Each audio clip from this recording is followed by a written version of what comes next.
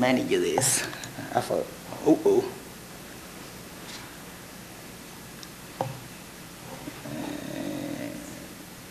Next. No food, just water. Get out from the line, the signs, okay? And, oh,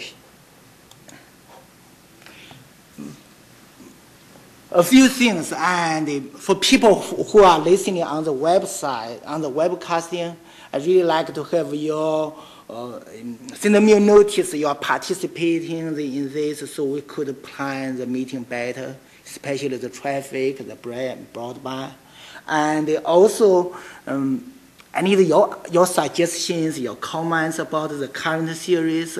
We also need to think about if our budget allows us to do another series. What should we focus on for next year? And send me your ideas, your comments. Should we do it? Or what should we do? Okay. Um, also, after Dr. Fenton's talk, um, we'll have time for discussion. Uh, we're also going to have lunch at uh, McCormick and Schmick's, 11. Everybody is welcome to join us for lunch discussion. And uh, uh, what else? Um, please mark your calendar for our next one next month. But we will be back to the EP building, and so it will be on May the 22nd.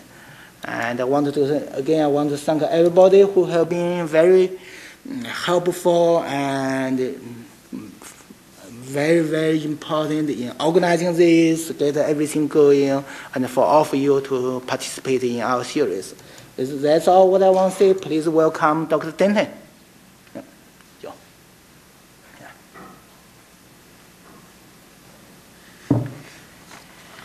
Thank you, Ling Hong. Welcome to you in the Sacramento audience, as well as those who are listening, lis- listening to the series over the web. This is our third lecture. We're halfway through. We have six lectures which have been scheduled through, through this uh, coming spring and summer. And as you recall, our opening lecture by Dr. Ho on February 20th introduced us to the fundamentals of epigenetics. And our second, second seminar on um, February 27th by Dr. Jerry Heindel focused on developmental origins of health and disease. And if you missed those two lectures, you can watch video archives on uh, OEHA's website. The third one today is by Dr. Sue Fenton, and she's going to be explaining and telling us about her work illuminating how environmental chemicals impact the development and function of the mammary gland. Dr. Fenton received her BS, her MS, and her PhD from the University of Wisconsin Madison. And her PhD and postdoctoral studies focused on cellular and molecular biology of development and differentiation of the mammary gland during pregnancy and early lactation. Dr. Fenton has been a research biologist at US EPA's Reproductive Toxicology Division since October 1998. And her current research involves identification of the effects of environmental components on early development, pubertal timing, and lactational function of the mammary gland. Her research findings have received many awards, including receiving twice the highest EPA Scientific and Technical Achievement Award. And in her presentation today, she will focus on how perinatal exposure to environmental chemicals disrupts mammary gland development, especially in relationship to pubertal timing. So, with that, please welcome Dr. Fenton.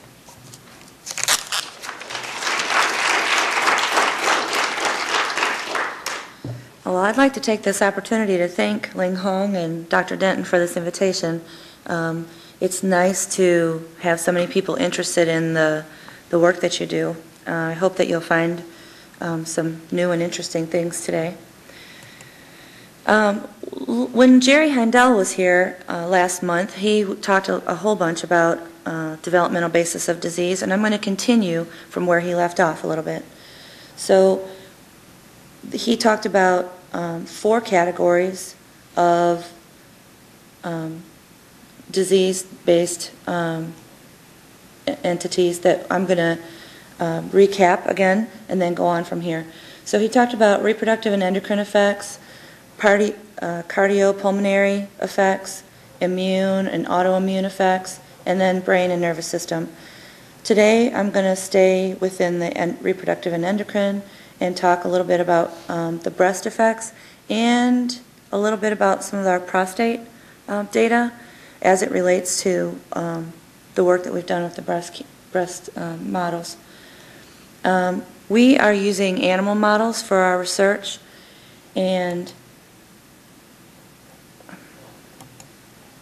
um, one of the reasons that we do that is because at the EPA, it's very more, it's much more difficult for us to do the human studies as we are not located um, near a clinic.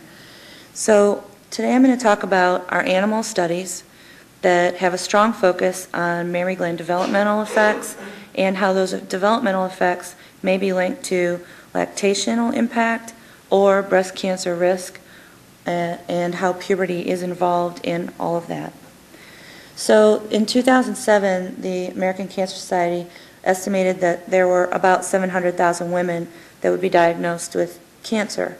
Of that, 26% of those would have breast cancer. And um, nearly a third of the men would have prostate cancer. So these are clearly very highly relevant um, topics to study. We have um, seen a general increase and then a leveling off of the level of breast cancer over many years.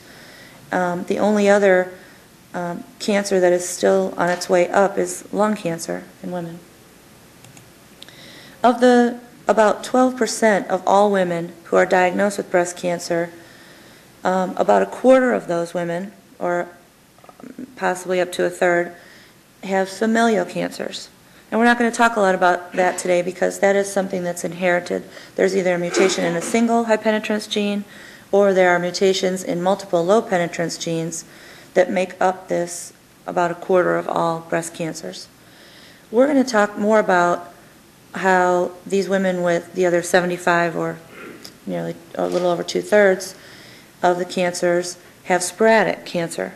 These cancers do not have clustering in, in the families, and they have a um, possibly a strong component of environmental um, and lifestyle um, modifications that affect their risk for cancer. One of the environmental components could be endocrine disrupting compounds, or EDCs, as I'll call them.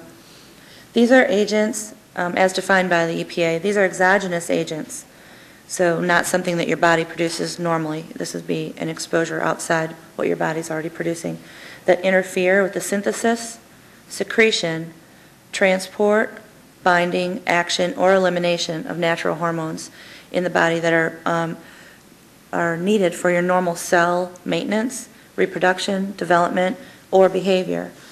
So some people may think that EDCs have to change like an estrogen receptor. It isn't that it has to change a receptor or a binding of a receptor. It can change how that compound is eliminated or how it responds to other compounds um, within the tissue. So, back to this um, list again of developmental basis of disease. Within this um, reproductive and endocrine uh, list, I'm going to talk a little bit about cancer, I'm going to talk about puberty, and I'm going to talk about lactation because all of these are somewhat linked and um, have long-term adverse consequences. So obviously, um, my interest in the developing organism stems from the fact that um, I have three wonderful kids at home, and I want to do everything I can to do to um, make their world as healthy as, as possible. Um, development is a highly integrated process, so you have rapid growth taking place during some periods, and then extensive differentiation taking place during other periods. And they, and they may shift and come back to rapid growth. And the mammary gland is specifically a good example of that because there are times when it grows slowly, um, like right after birth, and there are times when it grows really rapidly during, like during puberty.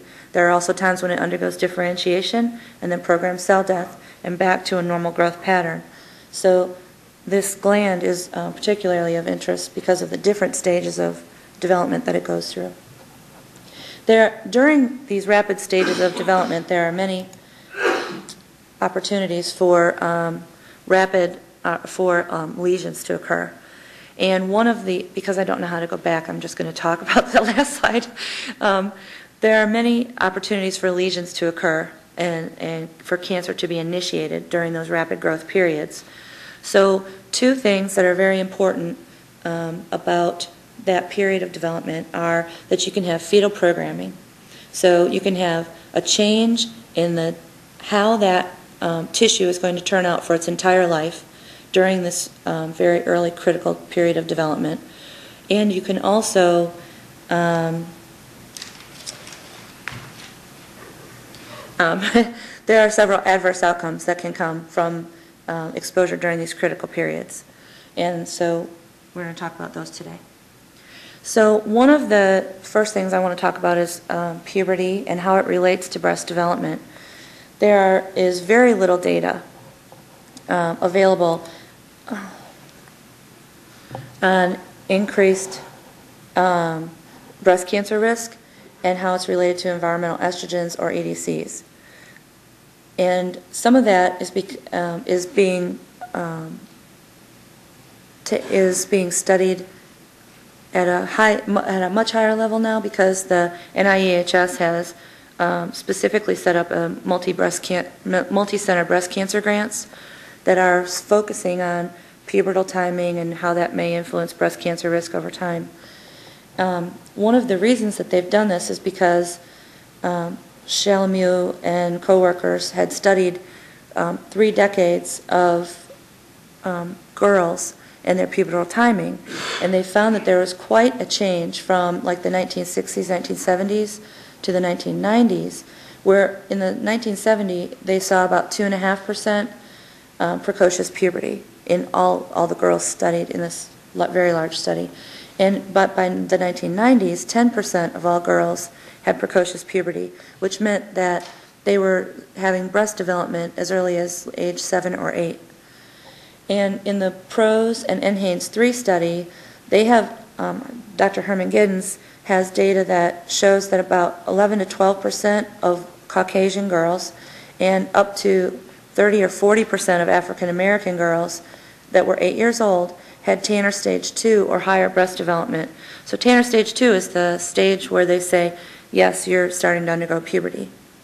And so um, if any of you have ever had an eight-year-old child, that is a very early age for them to start breast development. And in 2003, the EPA had an expert panel workshop where I was um, affili- affiliated with that workshop, and we went through the data from all of the studies that have been published on pubertal timing in girls and, and boys. And we decided that there was a significant um, precocious puberty event uh, epidemic, in fact, going on in girls. Um, but that their timing of menarche, their first period, had not changed. It's still about 12 years old. So what's happening is that breast development is starting early, and it's taking a long time to take place. They're still finishing about the same time, but they're starting early.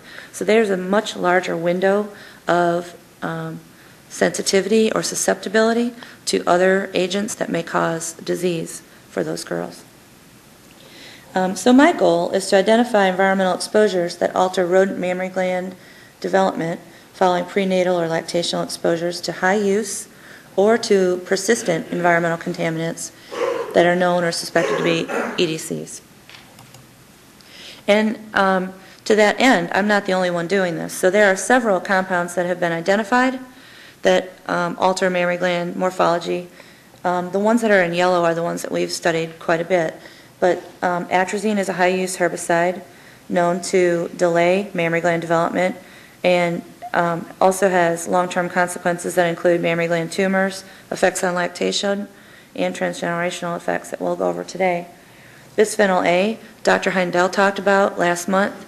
Um, Dr. Anna Soto and several of her colleagues have um, performed several studies leading to conclusions in rats and mice that this um, can cause long-term developmental consequences.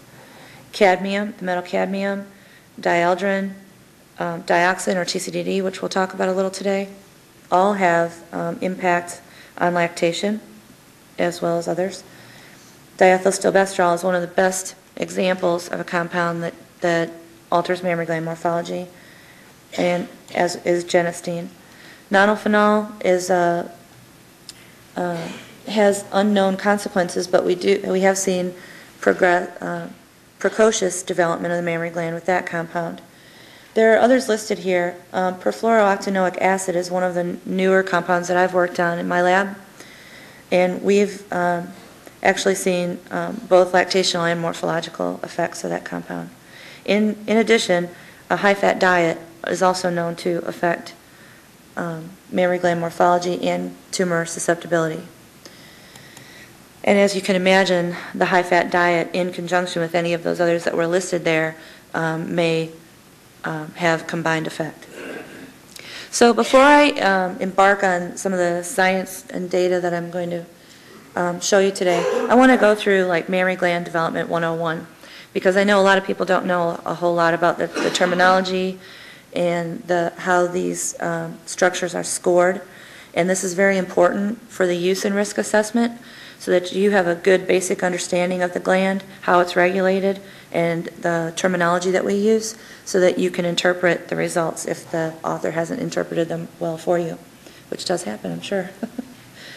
so in the, when the animal is born, this is called a whole mount, where the entire gland is removed from the skin of the animal, inside of the skin, and laid flat on a slide. And um, various labs do um, the preparation of it then differently, but what we what you can see is a three-dimensional structure of the epithelium shown here, and as it's growing out into this large fat pad.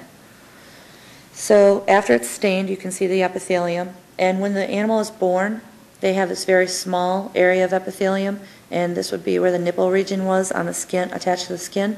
This large thing here is a lymph node, and it's very important in um, late life as it's one of the sites for metastases if there's a cancer.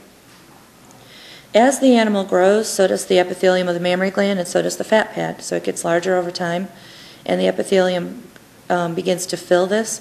And during puberty, this is really rapid growth. And these terminal end buds, which are on the end here, are um, quickly dividing structures that will split and branch out and fill, try and fill the whole gland. When the animal is an adult, you will see that the epithelium has filled this um, fat pad and it has contact inhibition. So as soon as it reaches the edge, it stops growing and then it ma is maintained in that state um, throughout its life if it doesn't become pregnant. If it becomes pregnant, the hormones of pregnancy begin to cause it to fill the gland even more to produce lobulo-alveolar structures that are the basis for milk production. They'll have a myoepithelial lining on the outside that will squeeze them, the grape-like structures, and cause the milk to go into the ducts, drain into the collecting duct, and be excreted through the nipple. So when we score mammary gland development, um, there are several details of the growth of this gland that are important. One is longitudinal growth. We, you can't see the nipple area here, but it's located right down here. We measure we may measure the distance from here out to the furthest point that it's grown longitudinally or laterally, usually longitudinally though. We also look at how many primary ducts there are because some compounds actually, uh, because we're treating these structures in utero, they have not developed yet and therefore we may impact the number of primary ducts that are developed in the gland, which will affect the size of it for the lifetime of the animal. We also look at um, lateral branching, which is what's going to fill the gland eventually. So, or the lack thereof, because right here you can see a, an area here where there really is no lateral branching, and we we don't like to see that. Um, but here you can see these are well-branched structures. We also look at budding. There's these very small, little, darkly stained uh, blips coming off these long ducts. The, that budding is very important because that's actually going to be a branch eventually, and that's a sign of how well the, the structure is proliferating. We also look at terminal end buds because they are the structures that are susceptible to carcinogen because they're so highly mitotic. And they are the splitting ends that are rapidly elongating to fill the gland. So with that said, Um, When we score mammary gland development, um, we use, my lab uses a system that is very similar to what pathologists use around the world. So we look at the normal glands, we look at the controls first, we see what they look like. They don't always look the same in every study.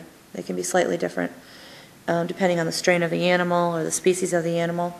And then we look, look at the most abnormal glands. So in our case, like the highest dose treatment.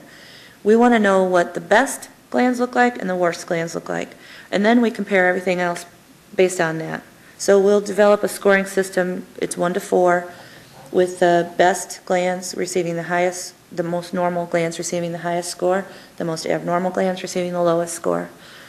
And what we do is we look at every slide then, um, without knowing which dose it came from or which treatment it came from, and we put them in stacks of slides. So we, we'll stack our slides up um, like this. So all of the fours would go here, um, threes here, twos, and ones. And sometimes, based on your criteria, which are um, standard, they may not fit into those, so they fall somewhere in between. We then pick these slides up when we're done. We look at every slide within that stack. We make sure they all look alike, set them back down, go through each stack that way, same as a pathologist would. Sometimes our morphology distribution looks like this, the top one here, where, especially in the case if you're using a higher dose treatment at multiple doses, you may see that you have really um, severely affected the mammary gland development, and you may have more abnormal than you have normal. Um, But if, but in some, many cases, and especially what I'm going to show you today, we have much more of a normal distribution, where we have a few glands that are at this high level, a few that are at the low, and everything else falls in between. Dioxin is one example that I want to talk about today. It's probably the best example to start off with because we know so much more about the effects in humans than we do some of the other compounds I'll talk about.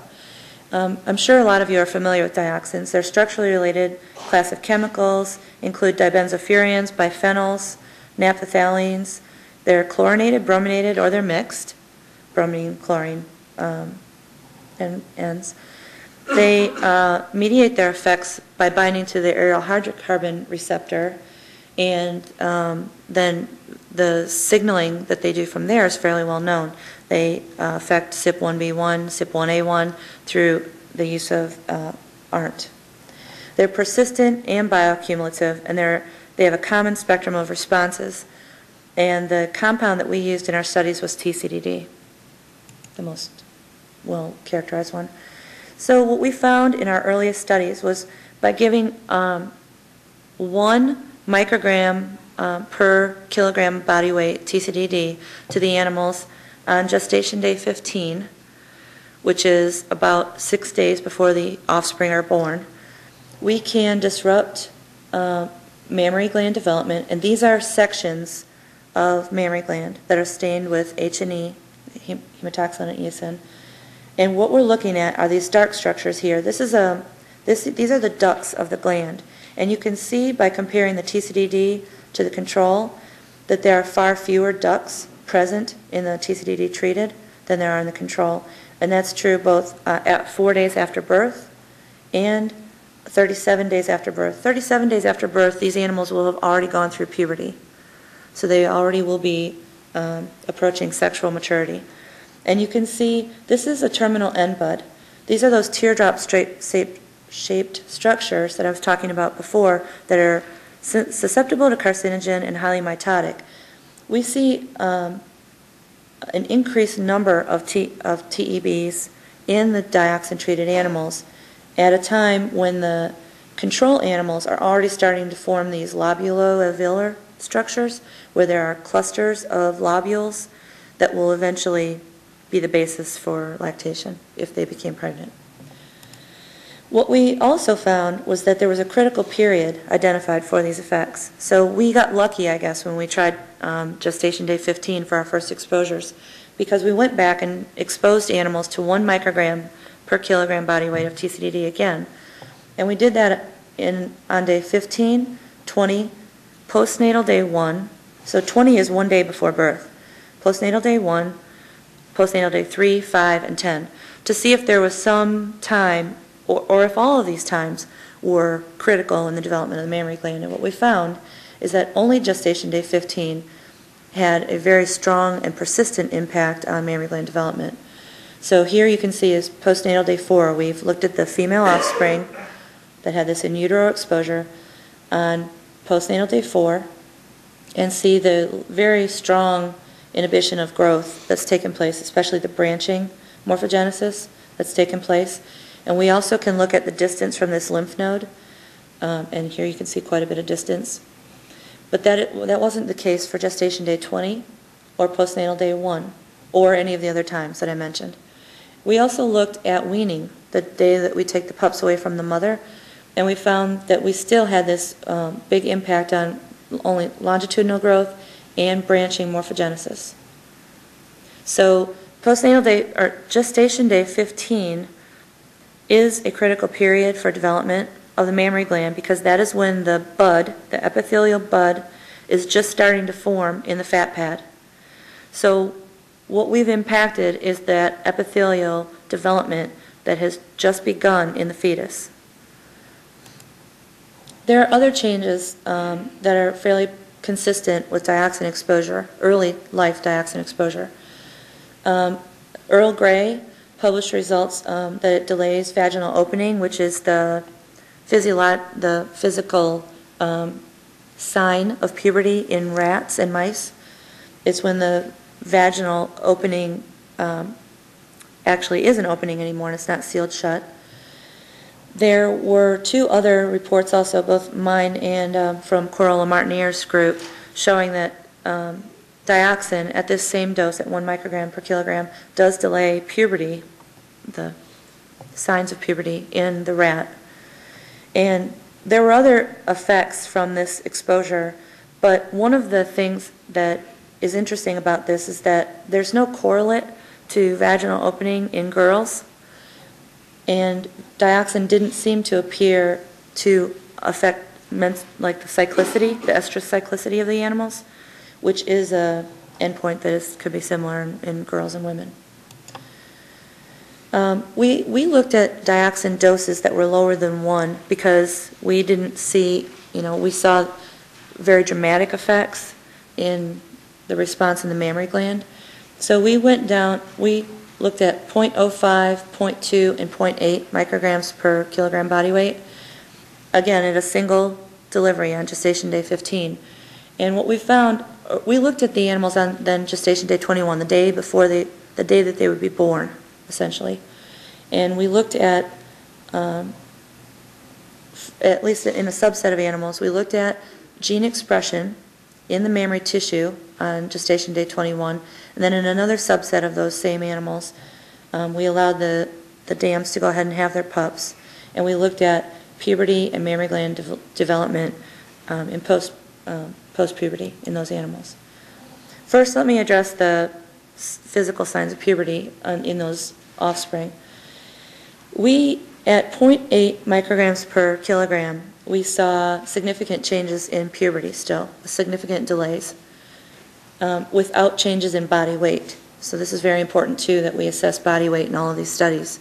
Because if there's a developmental change um, in the animal that's causing them to be smaller, the, all of their tissues will also be smaller. So we want to make sure that the effects we see on the mammary gland are not because the animals are smaller to begin with. And in this case, they are not. But what we did find is that we had significant mammary gland delays in the F1 females at 0.2 micrograms per kilogram. So we, these were, these changes were um, a greater than 100-fold increase in CYP1B1 gene expression, greater than 10-fold increase in CYP1A1, uh, greater than two-fold increase in aerial hydrocarbon receptor expression, and more than a three-fold increase in ARNT gene expression in the mammary tissue on gestation day 21. So um, the maximal gene expression for um, for AHR and ARNT was at 0.2 micrograms per kilogram. So we saw much larger changes for the CYP genes at 0.8 micrograms per kilogram, and they were upwards of 5,000-fold gene changes. So this is a very robust response at, at quite low doses. um, which, which, but they still don't approach the level that humans are exposed to dioxins. We also saw transgenerational effects with dioxin. And this was the, one of the first compounds um, reported in which we did see transgenerational effects um, besides DES.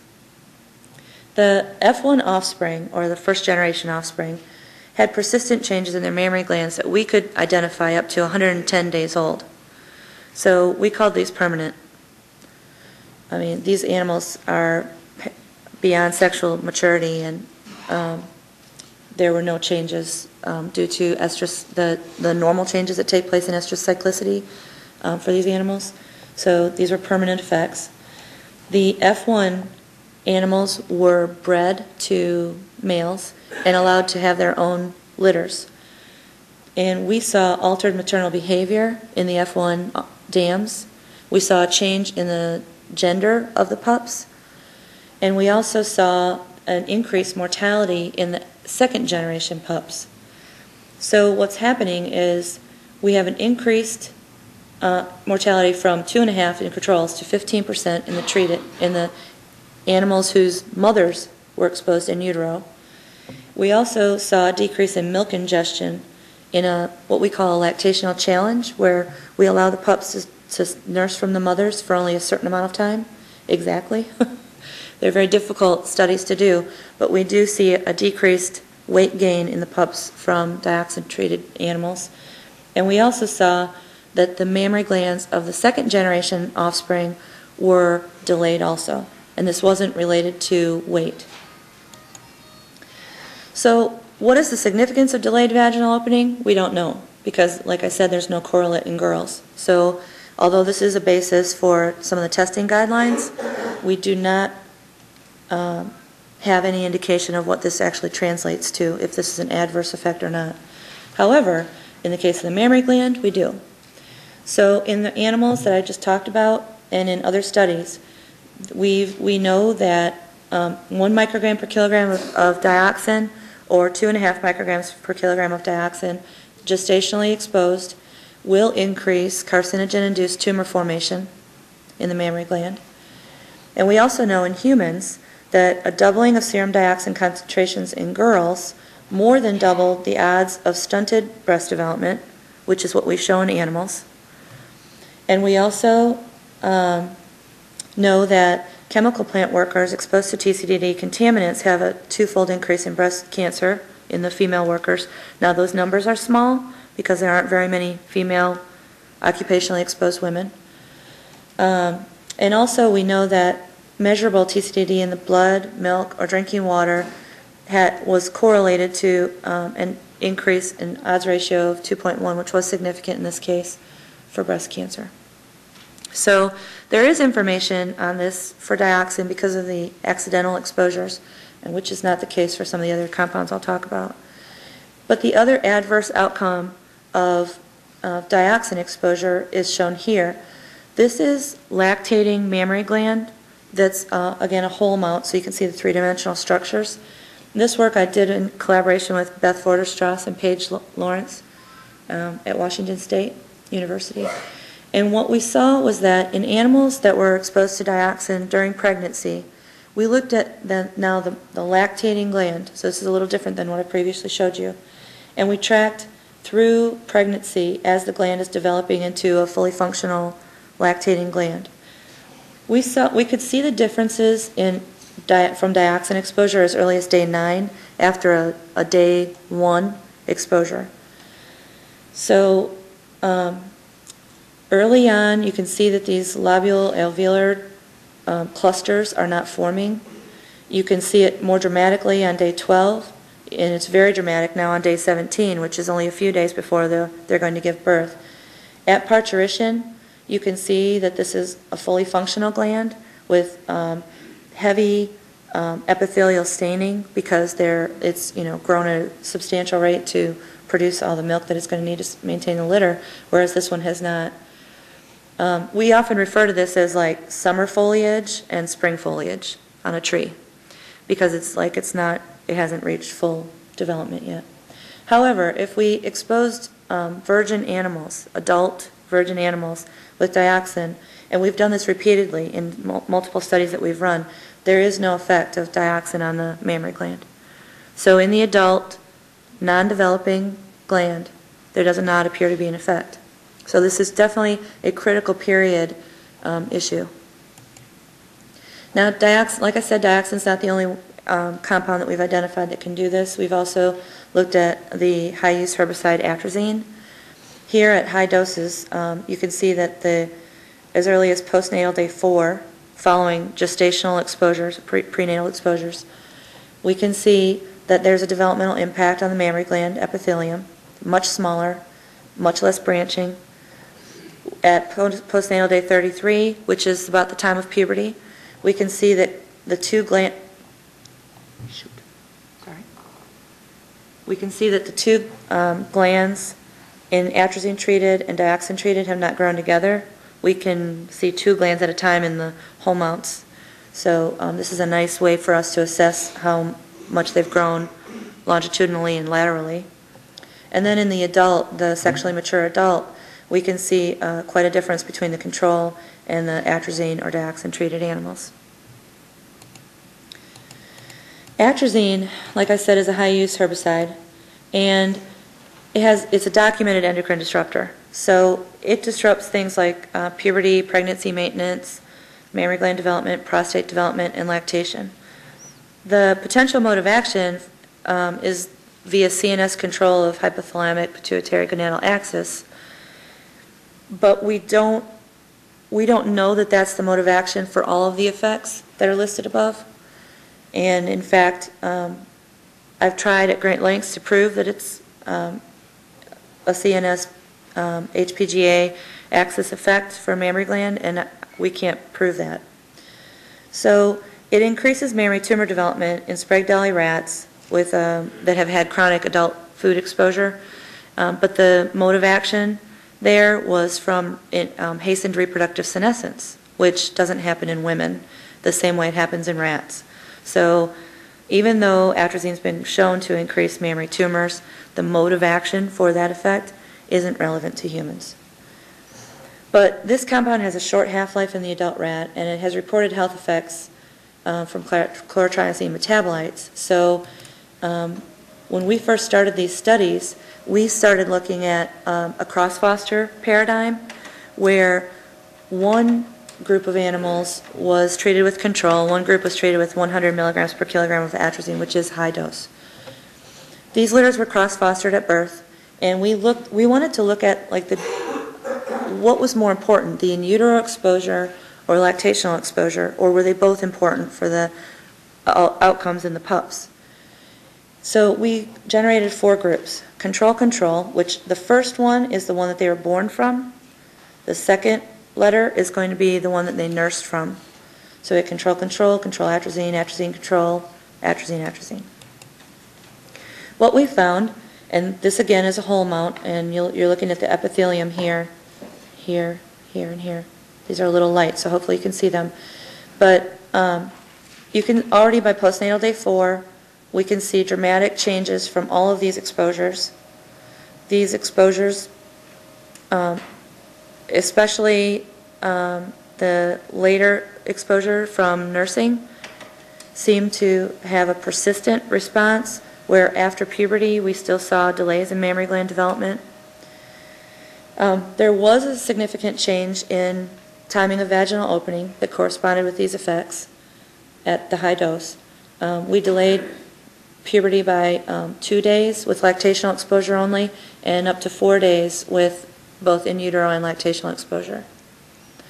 Along with this, um, we looked at changes in several genes to see if we could find what was driving this response. And the only two genes of interest, so we looked at a lot of growth factors, estrogen receptor, progesterone receptors, like uh, insulin growth factor, things like that, that we know cause proliferation and branching in the mammary gland. The only things that we found that were kind of related to this response was a downregulation of aromatase gene expression, both in the, uh, it wasn't significant yet in the lactationally exposed, but it was in the atrazine-atrazine group. And we also saw a downregulation of epidermal growth factor receptor, which is pivotal for the six and seven, or seven ligands to um, signal through, and that are all known to be expressed and um, developmentally regulated in the mammary gland. So we saw significant downregulations of the EGF receptor. So this may point us in the direction of a mode of action for these effects. Um, But interestingly, in this same study, we looked at the males to, to confirm or refute some of the previous work by Stoker and Cooper, Ralph Cooper, showing that um, early postnatal exposure to atrazine caused increased prostate inflammation in the males. So since we had the male offspring anyhow, we looked at um, the development of the prostate in those animals because of the similarities of the prostate, the developing prostate to the mammary gland. So the prostate also develops late in the fetus, just like the mammary gland does. And the budding of the epithelium happens just prior to birth, like the mammary gland. It, there's an important role of androgens, which is um, the androgens regulate the mammary gland in the opposite direction as they do the prostate. So they inhibit the, the mammary gland um, connection to the nipple area in the male, but then they drive prostate development in the, in the male. Um, the branching morphogenesis occurs primarily after birth, which uh, these are two of the few tissues in the body that do that. And there's differentiation of the epithelium that's fairly dramatic. In the males in this study, we also saw um, what Stoker had previously reported is that there was an increase in lateral prostate weight at 100, 120 days after birth. So you can see here um, a fairly dramatic increases in weight uh, at postnatal day 120 for the atrazine-atrazine group and um, significant changes in the groups that nursed from an atrazine-exposed dam or that were in the atrazine-atrazine group. And this is kind, this is just an example of what we saw in the lateral prostate. We saw focal areas that were inflamed. So this isn't something that happens throughout the entire gland, make, and making it much more difficult to assess. These are uh, um, neutrophils and lymphocytes that have infiltrated the interstitial area of the prostate. And um, this is not really the most severe case, but we did see um, micro abscesses that would form in these tissues. Um, more recently, what we've done is we've looked at an atrazine metabolite mixture at much lower doses than what we had originally looked at. And these, this mixture is composed of atrazine, which is 25% of the in, you know, percentage by weight of this mixture, hydroxyatrazine, which is a hydroxylated form of atrazine, um, typically thought to only be produced in plants, but it is found in groundwater and surface water. That made up 20% of the mixture. D-ethylatrazine and D-isopropylatrazine are the first level breakdown products of atrazine. So 15% of this mixture was DEA, 5% was DIA. But these breakdown products can also be formed from other chlorotriazines, such as simazine or propazine would be on this side, and it would form DEA. So propazine, simazine, and atrazine can all go to form these three metabolites, and DACT being the final metabolite, I'm DACT here, being 35% of the mixture.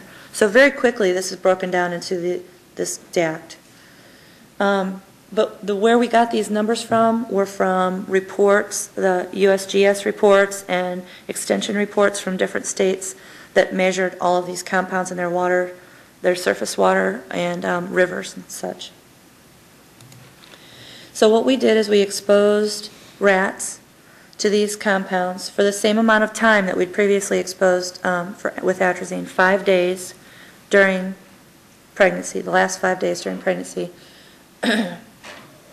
and we assessed the, the tissues then at multiple times after birth, whether it was a female, we've assessed those earlier, and males were assessed later. But what we did is we exposed them to 2.5 parts per million 25 parts per million, or 250 parts per million, which this level was 100 times the level that was reported in the um, papers that we used to develop this mixture, the maximum contaminant limit. They were 100 times the MCL. So, um, in the female offspring, we, again, at these very low doses of the mixture, saw effects on mammary gland development. At the lowest levels, these effects weren't as persistent as what we'd seen with the atrazine alone.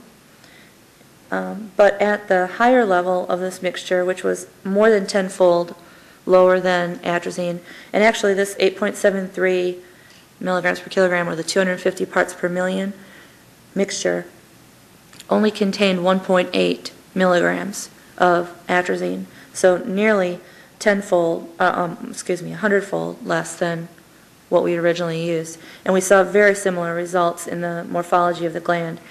At postnatal day 33, right after puberty, we still see these delays in development that are present out until adulthood. in the male offspring, this is a paper that was just submitted to, to um, we also see changes from these mixtures.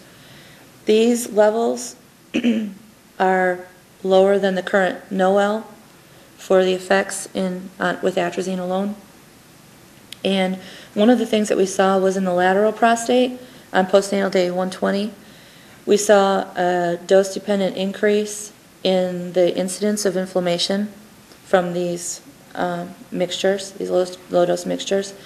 And we also saw an increase in the number of microabscesses, which leads to a higher severity score in the end. Um, in the ventral prostate, too, we saw effects from these compounds, which we don't see with atrazine alone. I mean, uh, the previous reports from Stoker and, and several others um, have looked at the ventral prostate and they, with atrazine alone, and as did we, and we didn't see an effect with atrazine. But these mix, the mixture does seem to affect the ventral prostate. Here's an example of what we see in the ventral prostate. We see, again, these focal areas of inflammation. Um, there, it's not spread throughout the entire gland, which um, makes this difficult because what we do when we assess the prostate is we use five sections from the prostate. Most labs only use one. So if they got lucky and they had inflammation in that one, then they say it's a positive. In our situation, we need to see it in two out of five to call it a positive. So we're being a little more conservative and we're assessing more slides. The pathologist assesses these for us. So, um, in the atrazine, with the atrazine story, we do know that there's also a critical period of development there also. We have not delineated the critical period for the prostate, but we have for the mammary gland. So um, we, we treated them for from day 13 to 19, 15 to 19, um, uh, 13 to 15, 15 to 17, and 17 to 19. So various uh, seven, five, or three day periods in late gestation or late pregnancy to look at what is really the critical stage that atrazine is affecting in, in the development of the mammary gland. And it appears that the very latest um, time is the most important. So if we expose from day 17 to 19 versus um, uh, the control, we see dramatic changes in mammary gland development that are similar to if we gave them a seven-day exposure. What's happening here, so I told you with dioxin, we were, um, it had targeted the period of bud development in the mammary gland. What's happening here is the period of rapid outgrowth of the epithelium is, seems to be the most important critical period for atrazine effects.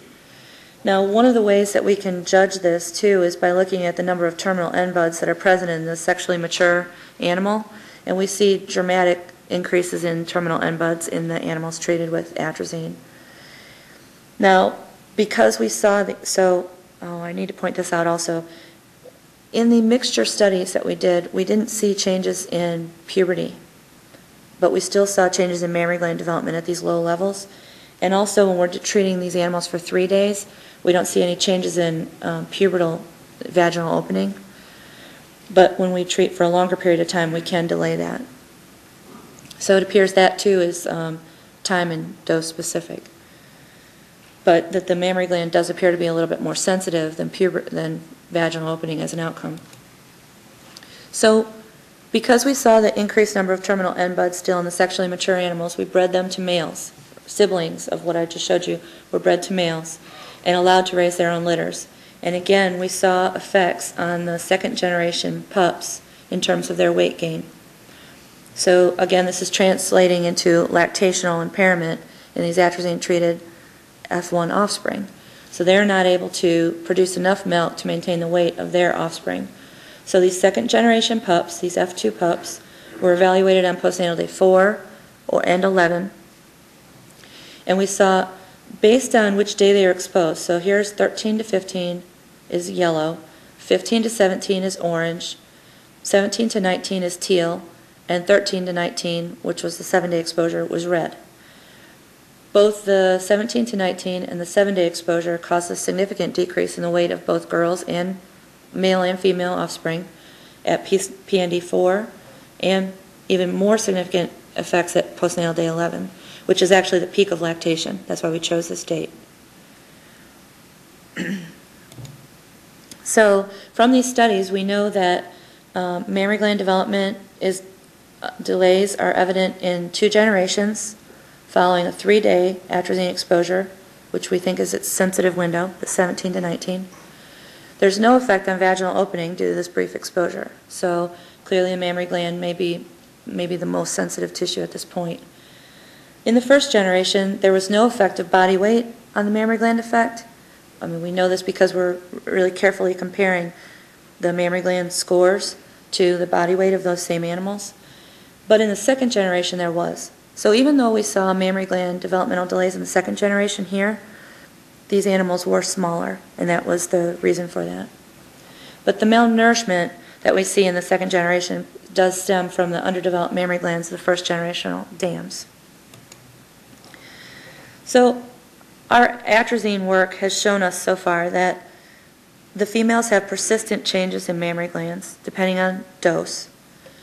The males have nodules, uh, visible nodules on their prostate and inflammation at the, morpho at the histopathological level by 120 days of age. There are significant delays in vaginal opening with lactational exposures only, but not in the males. So there is slightly different regulation in the males and females with um, the physical signs of puberty that we can assess. In the mixture study, the females had delayed mammary gland development at the lowest doses that we've tested. And, and um, the males have prostate inflammation in the ventral prostate, which is dissimilar from atrazine. Now, that's not necessarily at the lowest levels tested, though. So the prostate doesn't seem to be quite as um, sensitive as the mammary tissue is. And there, um, this critical period has been delineated for the mammary gland, but not the prostate. And we also don't know what happens late in life with in the males. We don't know if this inflammation goes on to become hyperplastic or if um, there are tumor formations later in life. That th those studies haven't been haven't been done. We've also looked at the disposition of atrazine and this metabolite mixture in pregnant and lactating dams, and we do find atrazine staying in the mammary gland because we can detect it in milk, that we, we milk the rats. We can see atrazine, we can detect atrazine in milk six days after the exposure has stopped. Now the half-life of this compound is like 17 hours, maybe one day if you want to be generous. And so it should be uh, undetectable by six days later. But it is, it is present, and we do see an accumulation in the mammary gland that's um, visible by um, a very abnormal distension of the ducts um, until you get past day four of lactation. And we don't know why, and that's something that we're aggressively pursuing. The last group of compounds that I want to talk about are perfluoroalkyl acids. Um, this is more recent work from my lab, but it's yet another example of a very diverse group of compounds that can delay mammary gland development. Um, these perfluoroalkyl acids are hydrocarbons with a with a, a different lengths of carbon backbones that are fully fluorinated. So they can, they can also have a functional group on the end, which can be sulfonic group or carboxylic group or phosphonic acid. The most common PFAS are the C8s, which is what I'm studying, and um, specifically I'm studying perfluorooctanoic acid. It has an estimated half-life of about four years in humans and about two weeks in a mouse. These are man-made chemicals. They're very stable. They don't break down in the environment. Um, and they are terminal metabolites. So that's why we're so interested in the C8s because anything larger than a C8, like a C14 or a C9 or C10, produces a C8. Um, their surfactant properties lend themselves um, to a wide, wide uses. I mean, so they're used in Gore-Tex, Teflon, popcorn bags, um, food containers that you use for microwaving your food, anything that's grease or waterproof, um, Scotch, you know, the Scotch guarding that they put on your mattress, your sofa, your carpeting, all probably have these compounds in them to some extent. Um, so in, two, um, in by 2002, 3M had phased out PFOS, which is another compound that we've actually studied in our group. Um, John Rogers has studied quite a bit. Um, and they're poised to take PFOA off the market by 2015. And so at some point it will probably be gone, but I don't know that they have good um, um, substitutes yet. So we're going to continue to identify the health effects of these compounds. The major routes of exposure in humans include drinking water, inhalation, and dust, um, or oral intake. Now, um, although all the other data that I've shown you today was in the rat, this is going to be in the mouse because the rat, the female rat, excretes PFOA very rapidly, which is unlike the female human. And so the mouse and the human are much more similar in the way that they get rid of this compound. So we've chosen to use the mouse in our developmental studies um, of, with pregnant mice. Now, we don't use any dose over 10 milligrams per kilogram for these studies because this causes increased mortality of offspring. Uh, and you can see that here. Um, this is work by Chris Lau um, showing this um, 10 is this uh, darker teal color right here. You can see that the postnatal survival really drops off when we get to 10 milligrams per kilogram of this compound. So we have used uh, 5, which is this green color, or less in all of our studies. Um, we've exposed pregnant mice to this compound for all of gestation, half of gestation, or the last third of gestation, and compared the effects of this compound on the offspring. What we've found is if we look at the mammary gland um, in a whole mount of the pregnant animal, um, the day that she should be delivering her mice, so in the mouse, they have a shorter gestation, so their end of their pregnancy is gestation day 18, not 21 like the rat. So um, they were exposed up to the day before. On the day that they were to deliver, um, we looked at the mam- what should be lactating mammary gland now of these animals and find severe impairment of the lactational tissue. Um, so you have your summer bloom and your spring bloom, early spring bloom in this case. Um, and then when we look at the morphological sections, stained with H&E again, of these mammary glands, you can see why. So in this first panel here, the control at postnatal day 10, this is what a mammary gland should look like when it's fully functional. So this is the peak of lactation in a mouse.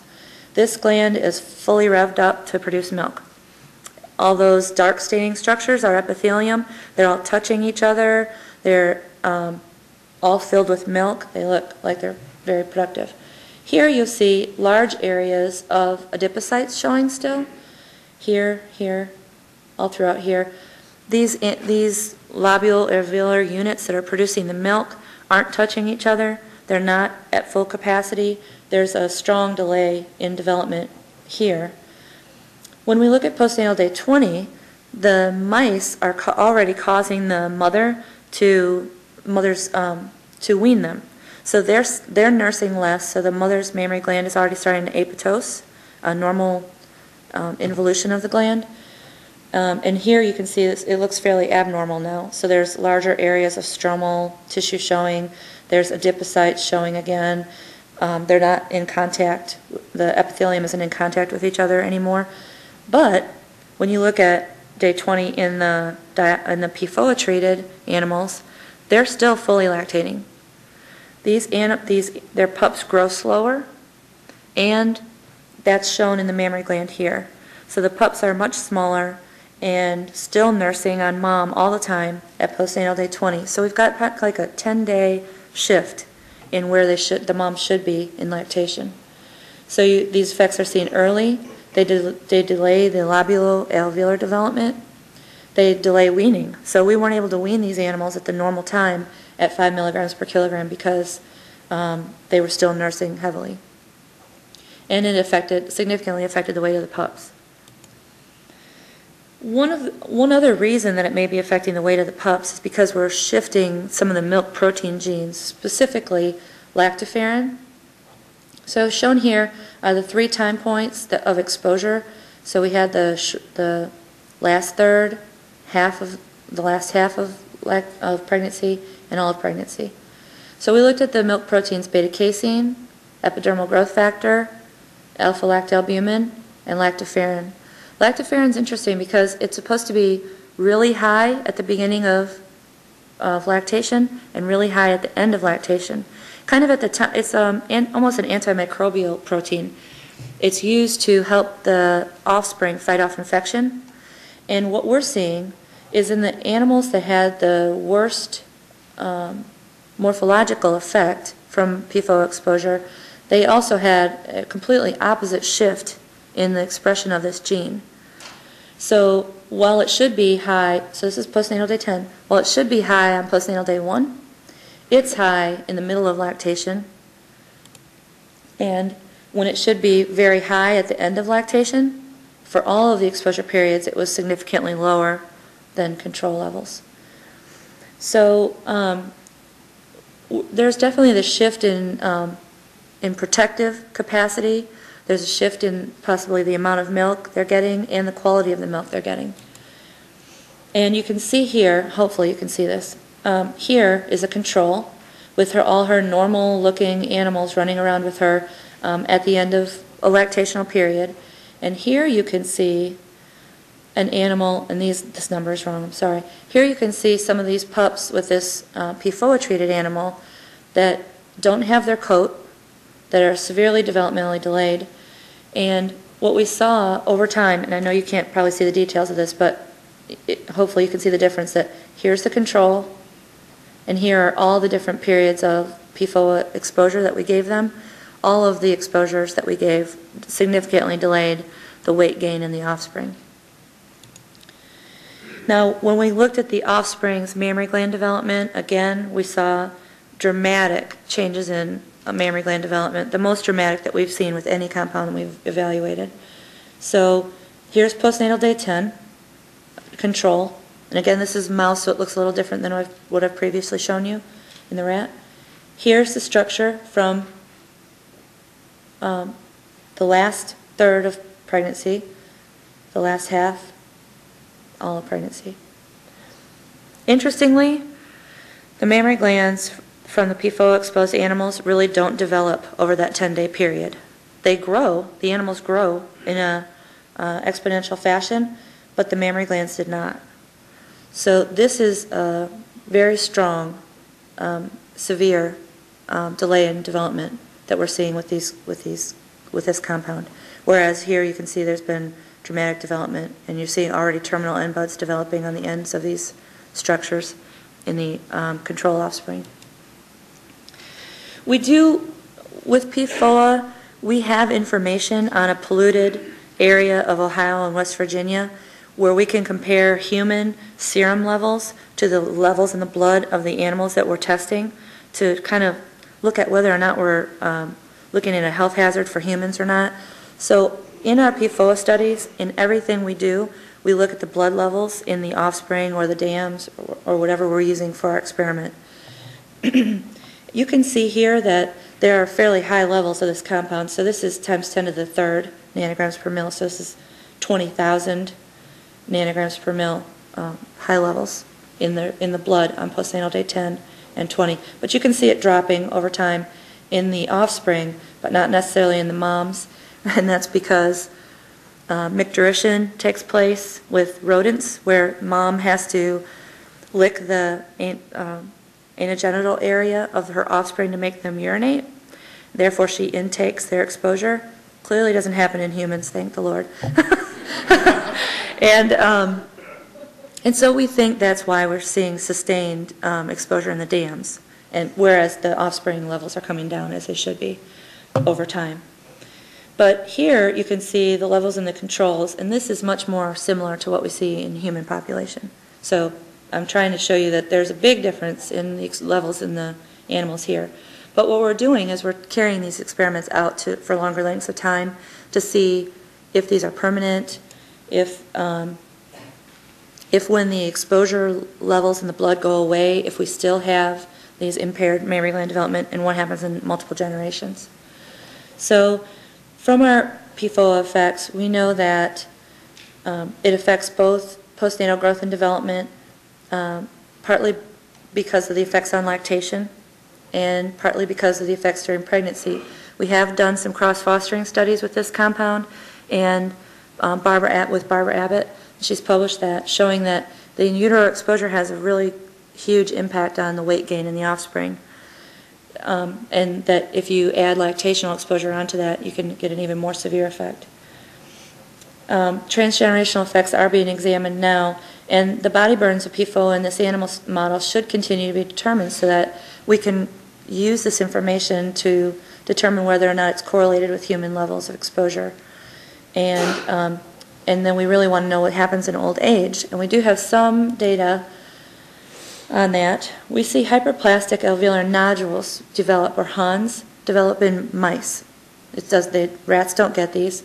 Rats get mammary tumors, mice really don't, unless you're using a specific strain of, of mice that are susceptible to tumors. Um, so these are things that you wouldn't find in a control. But what we're finding with the PFOA treatment is that we get more of them and they're larger and more severe. We haven't been able to um, quantitate the severity yet, but you can see here examples of how we're measuring this. Here we see no, no Hans. Here we can see one or two or three, somewhere between 10 and 14 on closer examination between 20 and 29, and we break this down into multiple groups. And then here you can see this is very severe, where you see these areas all over the place, and they're very dense, um, so more hyperplastic than um, previous example. And so when we chart this, we see a trend of increasing both the number, but what I can't show you here is the severity, like how large is each Hans compared to what we see in the other um, in the control groups. So we do see a trend for more of them as we go across the dose groups. And um, a lot of our studies right now are looking at what the long-term adverse consequences of this exposure are for the mammary gland. So what does all of this mean in conclusion? What I hope you'll take home today is that the mammary gland does seem to be a sensitive tissue to the effects of EDCs. I've shown you three examples today. I could show you seven more probably. There are now multiple examples of this. Not always delaying development, though. So EDCs can either delay, like I've shown you, or they can cause precocious development. Um, the dosing and timing of the exposure appear to be critical. There are critical periods early in life. They don't necessarily fall on top of each other for all these different compounds. Um, we haven't gotten down to a small enough time period for PFOA to tell you exactly which critical period it is for that compound, but we do know that it's late, the late exposure will cause the same effect as the entire gestation. Um, the effects on the mammary gland are not, do not appear to be dependent or correlated with timing of puberty in rodents. So puberty seems to be a, less, a little less sensitive endpoint. The EDCs affect branching, growth, and differentiation and these can lead, all lead to different adverse consequences. So we've seen altered F1 and F2 pup growth, changes in milk protein gene expression, changes in maternal behavior. We've also seen altered development from permanent to um, transient. And so for those that are persistent into adulthood, that's where we're getting these F2 um, effects. So the prostate is also affected by EDCs. The mode of action and the reason for these effects aren't well understood. In fact, the mode of action for the mammary gland effects aren't very well understood. We've looked at hormone after hormone to see if there's any correlations. We've uh, clearly body weight is something we're always looking at. We've looked at multiple genes for their and their expression, and that's one of the other things we're doing with PFOA right now is we're looking at a profile of gene expression because that compound is a known PPAR alpha agonist, and um, so we're evaluating that as a mode ac- possible mode of action. And then, can this be translated to human health? Well, we think so. And then also, its risk for breast cancer. In translating this work to human health, there are studies that were done back in the 50s and 60s that aren't being done anymore for um, ethical reasons, um, but that looked at the development of the mammary gland in fetuses of humans, human fetuses, depending on their embryonic week, and charted that development. We can compare that to what we see in the rodent. So the mammary epithelial bud forms in the first trimester in women, in the fetus of women, whereas it forms in the last the last part of pregnancy in the rodent. So big difference. Women in their first trimester may not even know they're pregnant, are exposed to so many things that, you know, they quickly will change as soon as they know they're pregnant. Um, and so this is really a critical period for women. Um, there are many developmental events that happen that are the same in women and rodents, the majority of them, in fact. Um, so branching and canalization of the epithelium happens in the second trimester in women and toward the end of um, pregnancy in the rodent.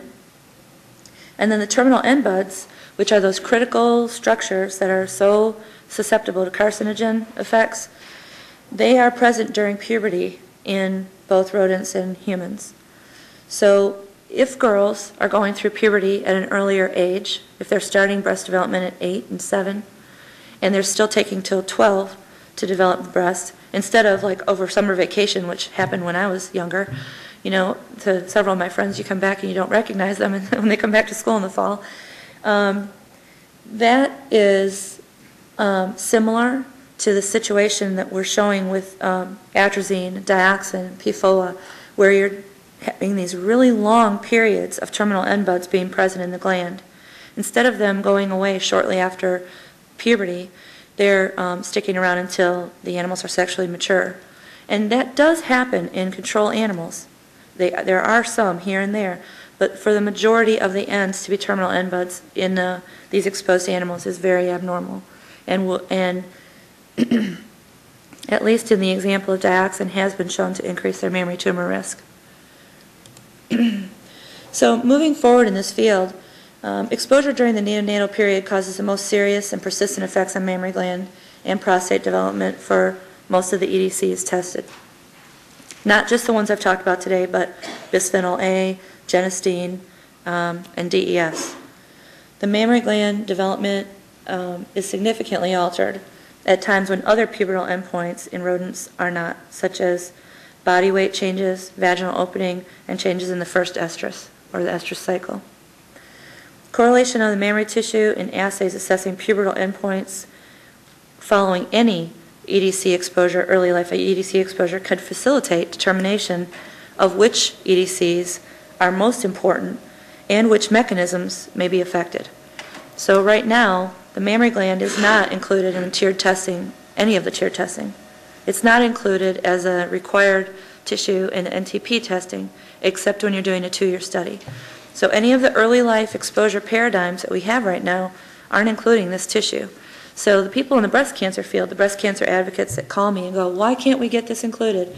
Why, why is EPA doing this? What, you know, I can't answer all those questions. I clearly don't make those decisions. But the breast cancer advocates are very upset because that only slows the pace at which we can identify which EDCs are important in risk for breast cancer. Right now, it's uh, a bit of a snail's pace, actually, to do individual studies and um, with smaller numbers, nothing like NTP would do in their large studies. and um, try and get answers to these questions. So, in our further research, we need to determine if there are late life effects of these various EDC exposures. Like, what are the adverse effects? Do um, multiple compounds share in the lactational impairment?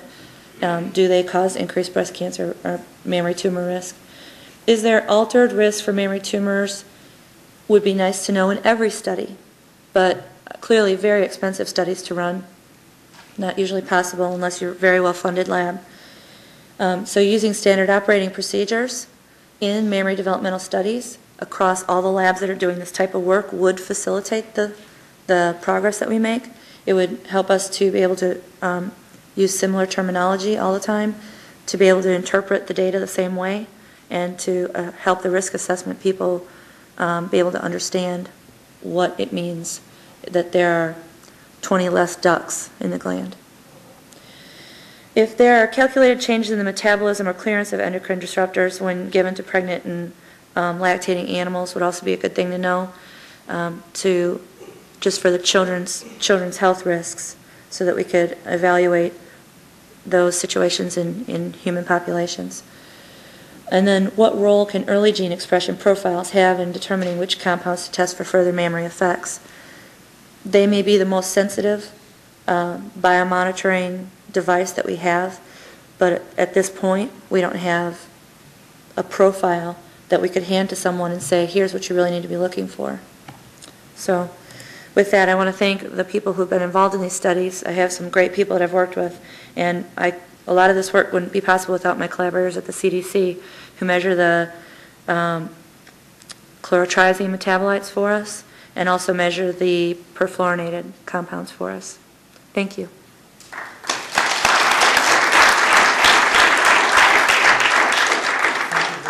I learned a lot. Good.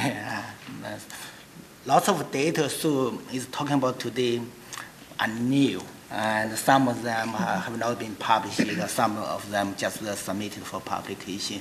And this is really cutting edge information. Now we have about uh, uh, 15, 20 minutes for discussion, for questions and answers. Uh, for people who are participating by web, webcasting, I'm sorry we posted the slides almost at the end of the talk, but you can download them now. And we have some technical difficulties.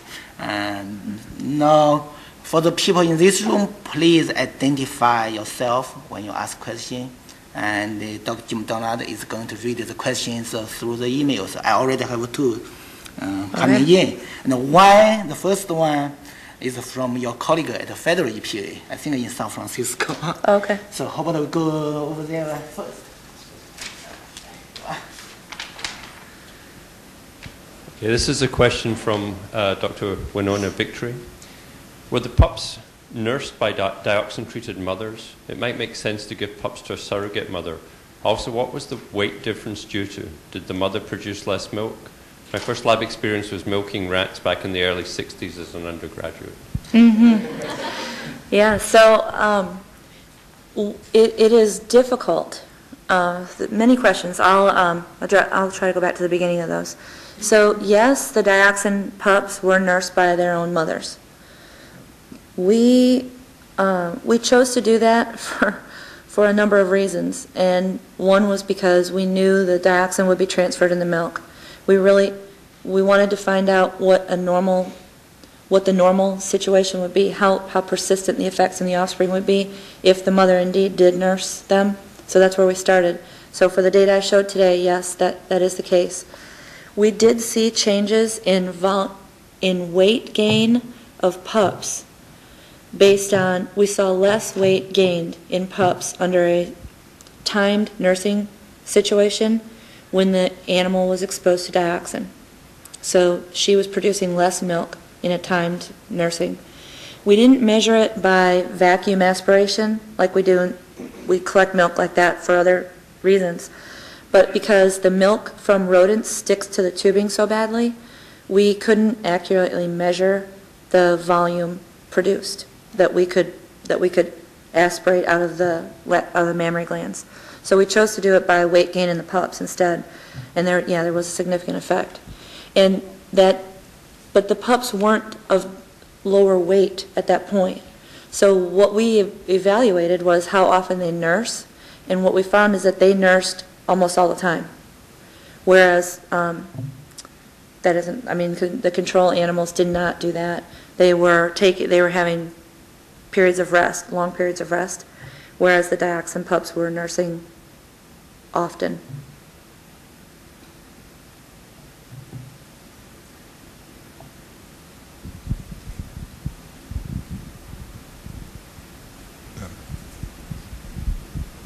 Hello, uh, I'm Derek Gallen from uh, DPR. Uh, I, have, uh, I have one question concerning atrazine. Um, now, it's been shown many times that atrazine reduces food intake and body weight in rats.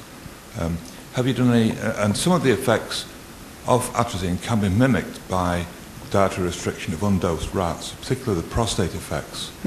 Do, have you shown any, can you, can you mimic the mammary gland effects by similar dietary restriction? No, we can't. Um, in fact, in the animals that, that's one of the reasons, so this is a very good, important point that he brought up. Um, Susan Laws, Tammy Stoker, Ralph Cooper, that group has actually gone back and looked at um, some of the weight, uh, like prostate weight gain in that dietary restricted group. And they do see um, that it, the dietary restriction alone can't repeat that, but in our hands, we, we went back and did, specifically did a study based on um, looking at weight gain for all these different groups, and we know that they aren't taking in less food, but we think that it's possible that the chlorotriazine metabolites that are being transferred in the milk may cause the pups to drink less.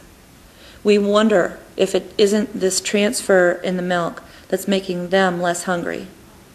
Because we know that it can do that at higher levels. And we know that we have fairly good transfer of that early in lactation. So that may be important. I mean, but we do know in our study that, that does, that's not the reason for the mammary gland effects. Really good question, thanks.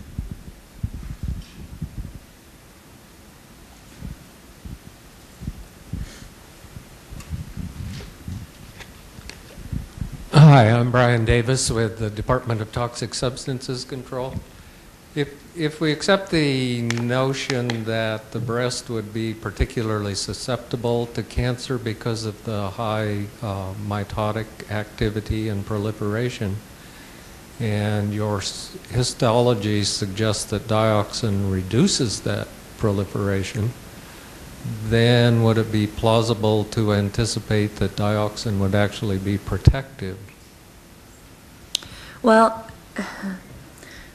this is a, this is an interesting question, and actually that's been tested, and the answer is no, it's not protective. What happens is that in the studies that have been done previously, where they've given DMBA or MNU as a carcinogen to pr- promote that tumor formation, in the studies that have done it well, they also have morphology data to go along with, with their cancer outcomes. Um, so like half of the animals were dosed with the carcinogen, half of them were sacrificed, and they looked at the morphology of the mammary gland on the same day to see what it is about the structures that are different that make one more susceptible than the other.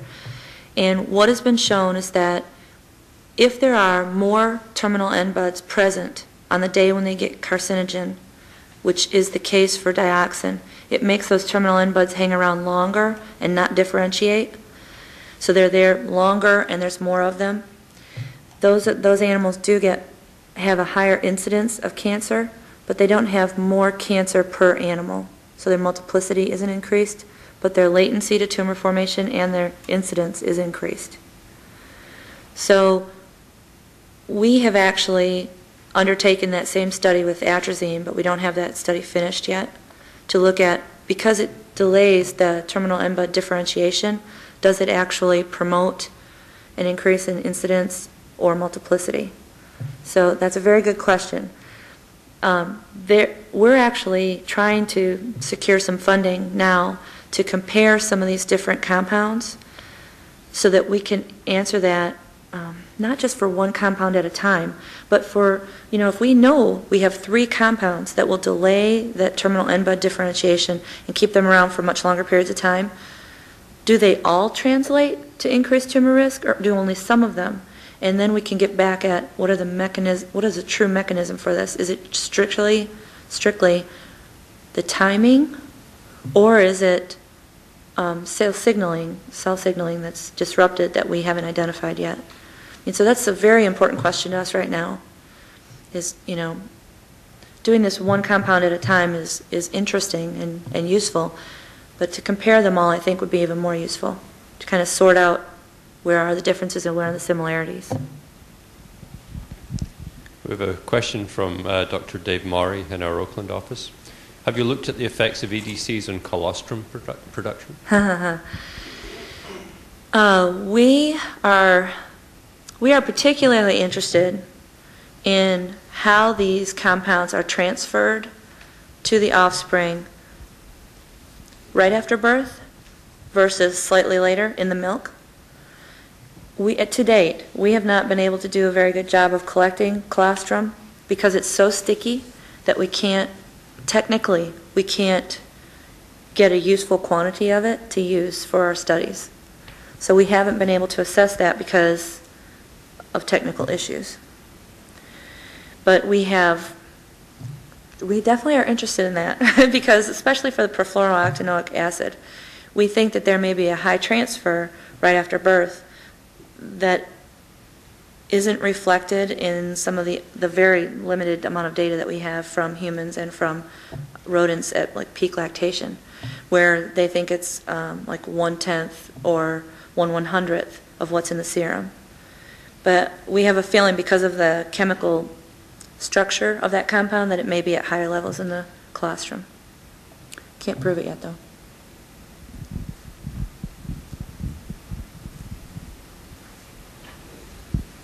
Joan Denton, I have two questions for you. One is that keeping with the theme of this seminar series, epigenetics and genetics, can we just can we simply assume that these manifestations of development go back to a genetic or an epigenetic mechanism? And then the other question is the discrepancy of the results of the of the uh, early differentiation in humans versus um, um, it's consistent in puberty with the animals, but not with with the variable results you're seeing in, in animals and what you might attribute, and again, the observation of this whole population shift for humans mm-hmm. with mammary gland development. Mm-hmm. So those two questions.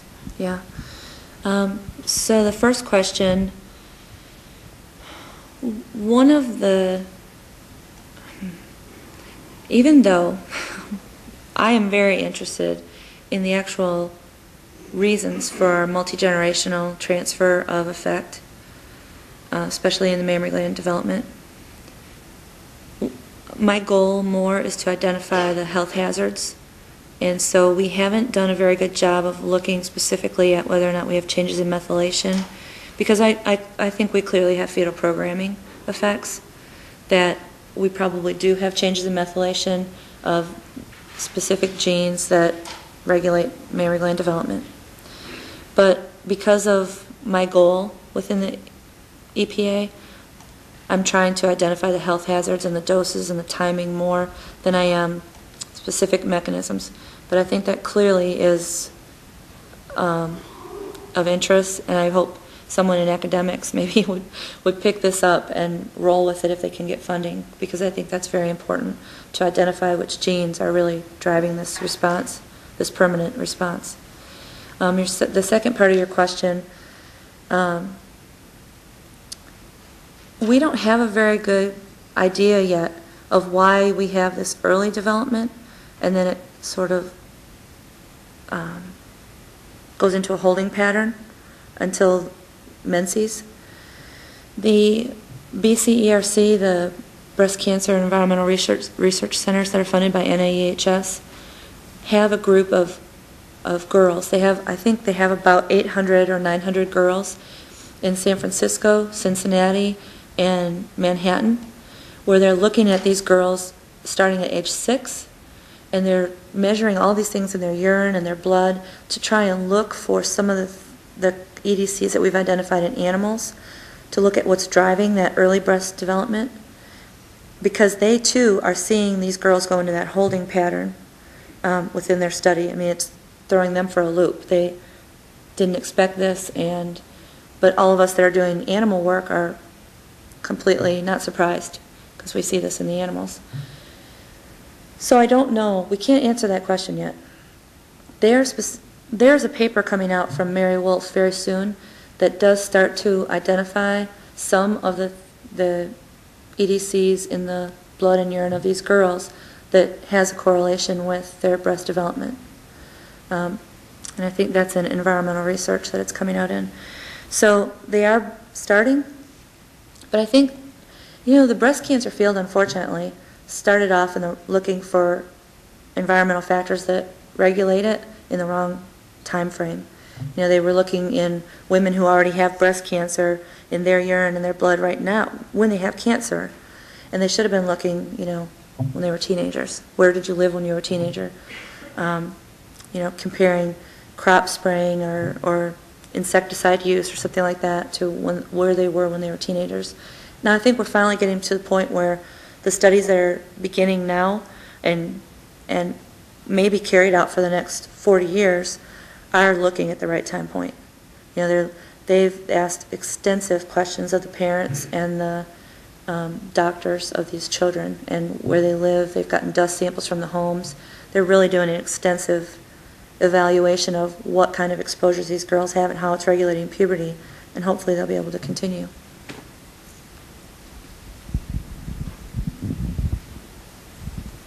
Hi, Purni Iyer from OIHA. Very fascinating talk. Uh, so, mm, you know, keeping with this prolonged, extended, sensitive period, and it might be kind of premature, my question would be, what, how would you translate that information into testing guidelines? Mm. You know, do we have enough information to say, okay, you take the multi-gen, say in your FIFRA study, and you've got the exposure period covered, Mhm. but what would you be looking for? Uh, it's not really premature if you ask me. I, I'm fairly opinionated on that question. I have spoken to the people at um, Health Canada and NTP and even our own um, people that are involved in setting up the new um, altered in utero lactational exposure guidelines and asked them to incorporate uh, PND4 as a time of analysis for the mammary gland because one, these whole mounts are really cheap. I mean, you don't need any money to do these. Two, in all of those testing guidelines, you have to um, cull the litters down to the same number of animals per litter. So all they have to do is use the discarded animals, the animals that they're going to get rid of anyhow. Take those females from all the treatment groups, open them up, take the mammary gland out, put it on a slide, fix it. Really super cheap. They, I mean, they wouldn't add $100 to the cost of their study. And they would have some idea of whether or not the mammary gland could be an interesting outcome in their study. At that point, whenever they do their kills, they could be looking at it, which where they don't right now. But PND4, as you saw, I mean, every single one of mine, you can see it as early as postnatal day 4. And that is a really easy way for them to start to incorporate this. And it's like an early biomarker. You know, they'll, they'll know, yes or no, do I need to worry about this right off the bat? Okay. Uh, the other question I had is that given that, you know, when you spoke about the, uh, the fluorinated acids, and, you know, how, and using mode of action to determine how effects are seen, you know, they almost seem to be balancing them out, and as a population, you're exposed to so many compounds, so Mhm. just your comments on that. Yeah. yes, that is a really good question, and I think that's where we need to go. There, there's only one person that I know of who's really doing a good job of kind of turning this around, you know, using the data that others of us have generated and kind of flipping the, the tables and saying, okay, now I know what the mixture is that these people are exposed to, now let me look at the risk. And that's Andreas Kortenkamp from the UK. He, um, he's identified like a mixture of phenols and parabens that are significantly correlated with mammary gland developmental effects and risk. And so that is really difficult work to do. It's very expensive. it's very it's very difficult. Um, I know like Warren Foster from um, McGill University has tried to do the same thing, and he's not been able to find the mixture that matters. Um, with this mixture of chlorotrizine metabolites, we definitely have something there. But, you know, obviously you're exposed to several things in your water, not just that. So that is a really good question, I don't know, maybe in 10 years we'll have some major progress in that direction, but, because I think all of us know that we need to have, we need to go that direction. But it's whether or not we have the money and the ability to do it. Excuse me, a question from Dr. Rich Sedman in our Oakland office. Um, has mechanism been shown to be hormonally related or to have other causes? Hmm. To date, we have looked at every hormone assay, we've ran every hormone assay I can almost get my hands on to look for correlations between changes in hormone, serum hormone profiles with the outcomes that we see. And we can't find any. In fact, we've kind of beat ourselves up a little bit because prolactin is hypothesized to be the mechanism for the prostate effects. Yet we can't identify that. We can't we can't find it. We've we've tried very hard to find the uh, any hormone profile changes that would correlate with these, and we, we can't find any. Especially that are consistent across experiment or are consistent across dose. To, to date, we have none.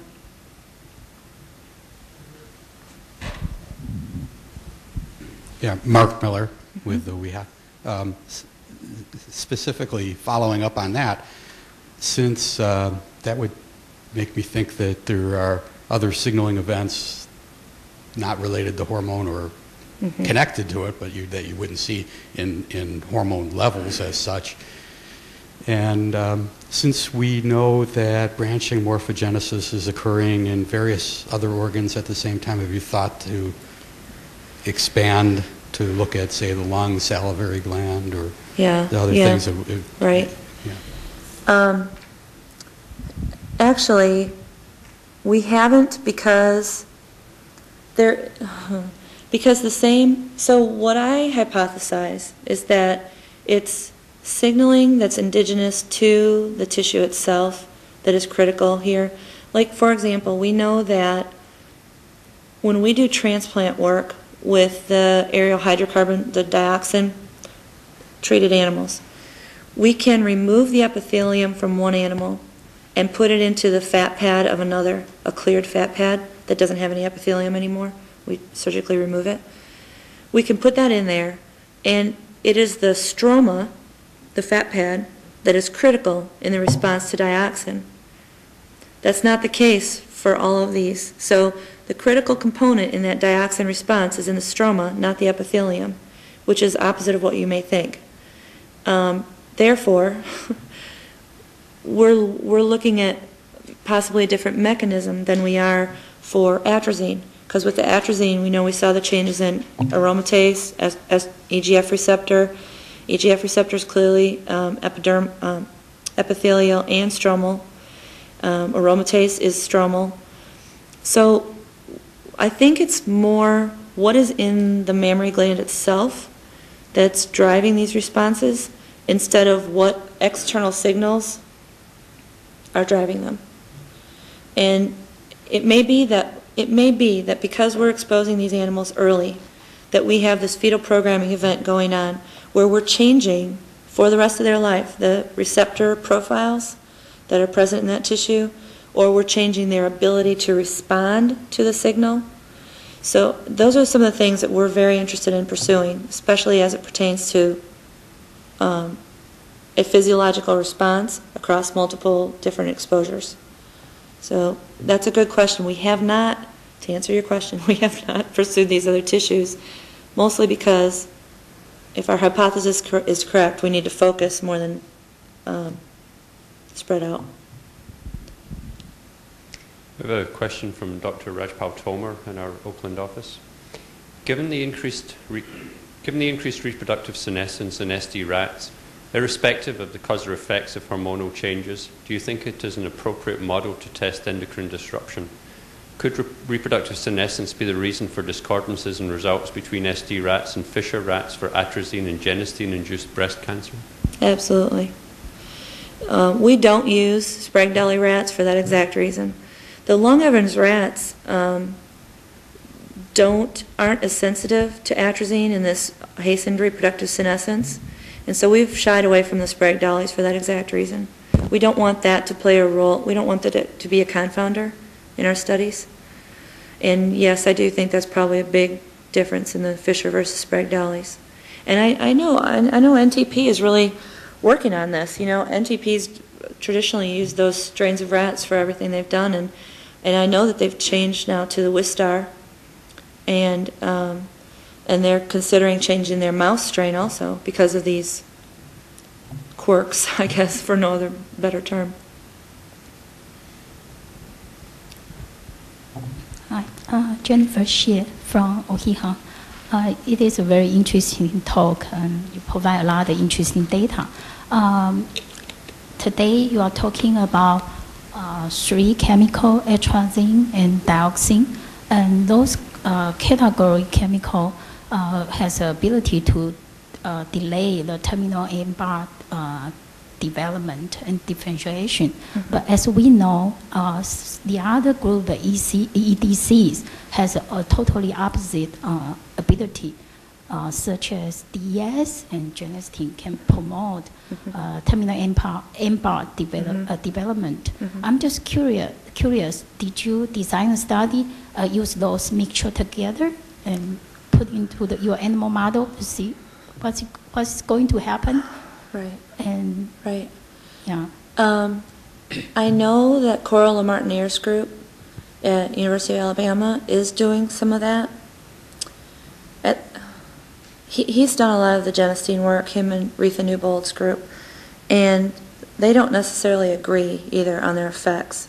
Part of, part of the problem with some of those compounds is that some are being injected instead of orally administered, and you do get different results based on how you expose the animal and when you expose the animal. Those, some of the bisphenol A work and genistein in particular are highly controversial, uh, or they're all fighting with each other right now because, you know, obviously oral administration is much more similar to what we would be exposed to, but it's easier to expose a neonatal animal by injecting it versus gavage. And so I'm not sure that that field even agrees with the outcomes on the mammary gland because of those differences, because of the differences in timing of exposure and the route of exposure, and the fact that some of the studies do and some don't measure what the circulating levels of the um, isoflavones are. Um, We haven't, we haven't considered doing that because we have specific goals in mind of how we're going to kind of trudge ahead with this. But there are, there are groups that are considering doing that. I just don't know how close they are to getting to the point where they can agree on, a- on a study design. Yeah, I know it's a very complicated uh, question right now. So I, Yeah, I'm just curious, what what's your opinion about? Because the, in the environmental, everything is just mixture together. Yes, right, right. And you Yeah. provide a wonderful another uh, alternative pathway and mechanism for those Mhm. EDCs. Right. So I just curious, what's Right. your opinion to those uh, Well, complicated based, questions? based on the, the effects that we get from the early developmental exposure, you know, where we have these critical windows, we know that some compounds in your life, or in your daily exposure, may have more of an effect than others, based on your stage of development or your, um, specifically talking about, you know, a woman who's pregnant. If her, if her, if she happens to have a large exposure to PFOA, say, um, or if she, like the women in West Virginia may well have, she may be more sensitive to that one exposure than she is to the, all of her, the rest of her day's exposure. And so I think because of that, it, it makes this even more complicated. So you're not just talking about what you're exposed to, uh, to today or, or this week, but what's going on in your body at that same time during this complex exposure.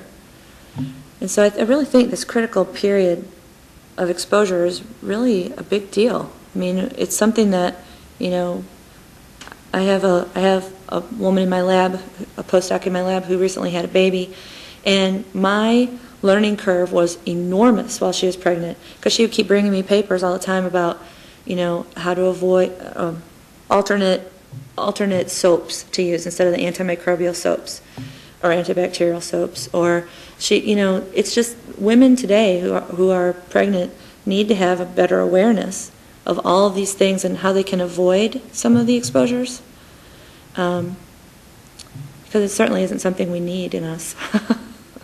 So i don't know. I can't really answer your question but i i do feel like the critical period issue is a big deal when you're talking about the mixture expo- exposures. I'm taking up half your day, I'd like to sorry. Continue this discussion, but I think we have to go, have uh, move on and uh, think about the issues. And send your questions to me or to Dr. Fenton directly, we can continue this discussion. Thank you very much. And mark your calendar. Come to our next one. Or if you want to continue the discussion, join us for the lunch. Thank you. Thank you.